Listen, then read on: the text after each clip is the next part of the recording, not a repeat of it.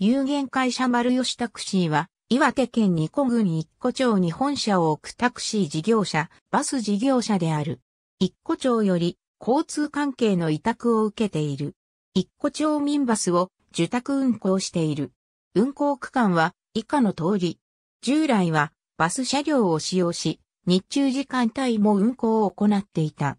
現在はデマンド交通、育部、号が設定されているので日中時間帯は運行していない。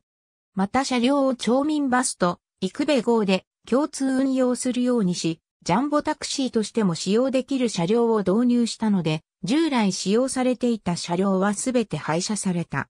一個町内の公共交通体系を再編し、事前に登録を行った利用者が電話予約することにより、一個町内を移動できるシステムである。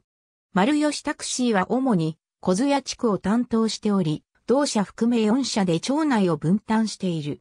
運行時間帯は平日の8時から16時であり、それ以外の時間においては既存の路線バスが運行される。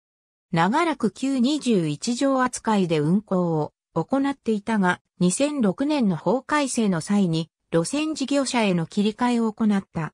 その際に所有するバス全車を路線登録に変更したため、会員事業者の中で唯一貸切バス事業を営んでいない事業者となった。